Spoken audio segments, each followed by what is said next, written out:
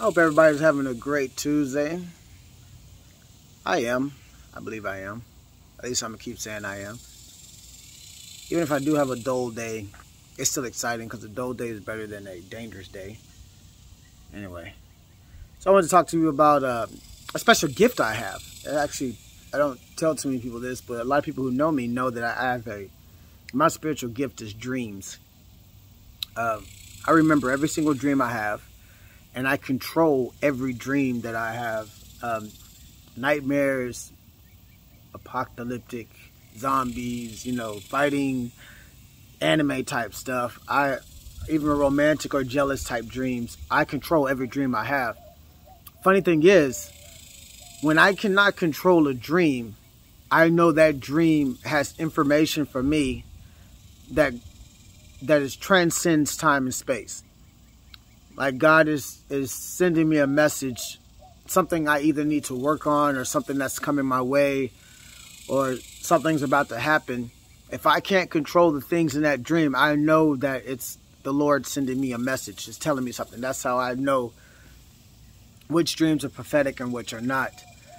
It's by the fact that I can't control them and they feel so, so real that I feel like I'm in another dimension it's pretty exciting. Uh, a lot of uh, relatives visit me in my dreams.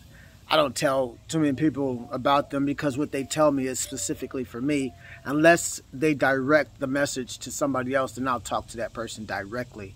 But for the most part, most of the messages uh, are geared towards, you know, something I need to do or something something I need to tell somebody.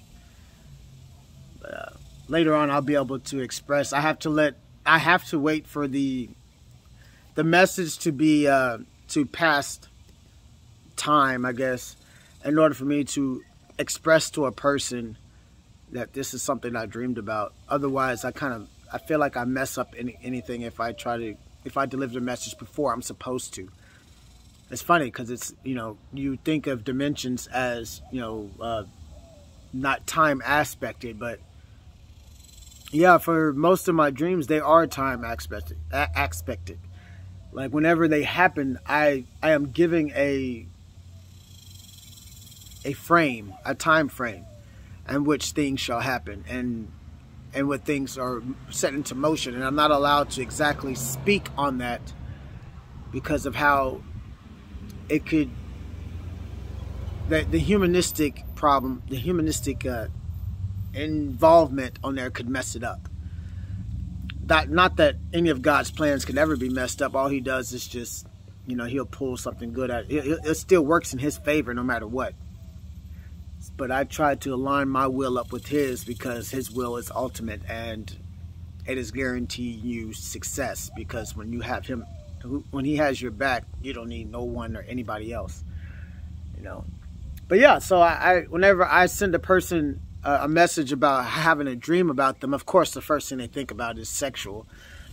Because we're a society geared towards a person can't think about another person without it being some type of sexual thing or some type of attraction.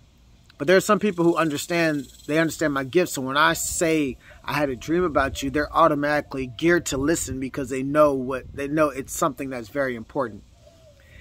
And no, it doesn't happen all the time and I'm thankful for that because when I have those dreams, I I wake up crying. I know it's weird, and I talk in my sleep. My wife hears a lot of the, the things that go on when those dreams happen. I, she she knows not to wake me up because I have to receive the entire message, but she knows when it gets too bad for me that I, there's a there's a part of it where I need to be. She needs to make sure I'm okay, and it's not something that's you know torturing me because yeah, demonic dreams are some of the scariest, but I understand that those carry messages as well. Now, everything must work for the good of the Lord, even those type dreams. But I've, I've been dealing with those quite healthily. Healthily. I just made that word, I guess. Healthily. Healthily? Helpfully. Forget it. Whatever. But yeah, so uh, if you got a spiritual gift, let me know. Uh, I'd like to hear about some of y'all spiritual gifts. I, I have an uncle who interprets dreams, so when I have one of those dreams, I do go to him for the most part, to if I haven't interpreted myself or it's too deep for me to understand, I go to him to talk. My Uncle Rick.